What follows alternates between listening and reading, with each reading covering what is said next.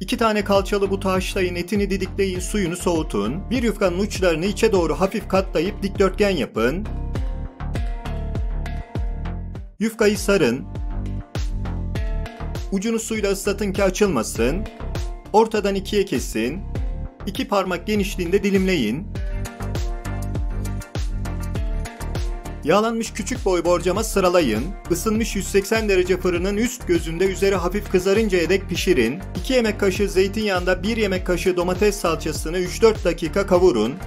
Biraz karabiber atın ve 1 su bardağı tavuk suyu dökün. Kaynayınca 4-5 dakika pişirin sonra ocaktan alın. Didilmiş tavukları tuz ve toz biberle lezzetlendirin. Fırından çıkan sıcak yufkalara soğumuş tavuk suyundan 4-5 kepçe dökün. İkisi de sıcak olursa yufka hamur olur, burası önemli. Yufkalar tavuk suyunu tamamen çekince üzerine sırasıyla sarımsaklı yoğurdu, salçalı sosu,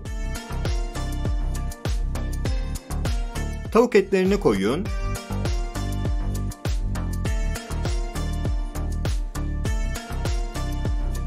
Yakılmış tereyağını gezdirin.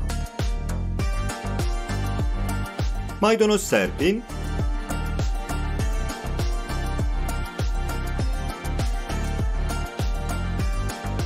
Afiyet olsun.